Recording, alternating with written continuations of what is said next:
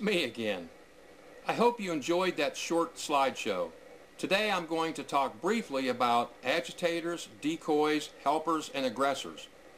You know, without a knowledgeable person acting as one of the aforementioned, even an outstanding canine prospect will not realize its full potential, whatever your goal may be.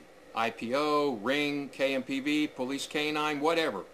The ability to read dogs, to act and role play as it were, are just plain essential. And of course, this person also has to have physical abilities to go along with that and a game plan to progressively develop the dog. I selected each of the five photos you just viewed for a specific reason. There is something specific going on in each one. A goal for the dog is intended in each one. In the first, the dog is learning to bite the leg, but I'm not asking him to turn his head yet. I'm making it easy on him. In the second, a frontal, in-your-face approach with this very strong young male will produce the serious dog that we want. In the third, I want this dog to come hard and to look spectacular. Uh, I let him take me to the ground after I catch him. In the fourth, the goal was for this dog to come wide open in the stick attack with good bite placement. And finally, in the fifth, we wanted this dog to sit straight in front and bark at the man, not sit crooked, barking at the sleeve. I hate that sitting crooked and barking at the sleeve crap. The one thing I want you to remember is don't be like some idiots and just get somebody to catch your dog.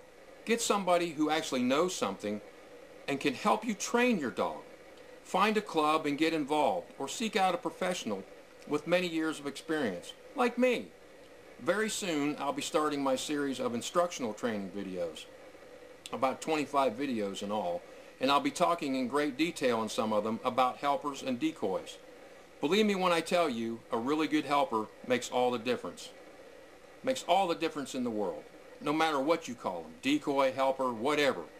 A dog that bites full and hard, outs when told, and guards cleanly without rebiting probably had an excellent helper. The great ones can make a mediocre dog look good, a good dog look great, and an outstanding dog look incredible. Keep training, my friends. Stay thirsty and I'll see you next time. Thanks for watching.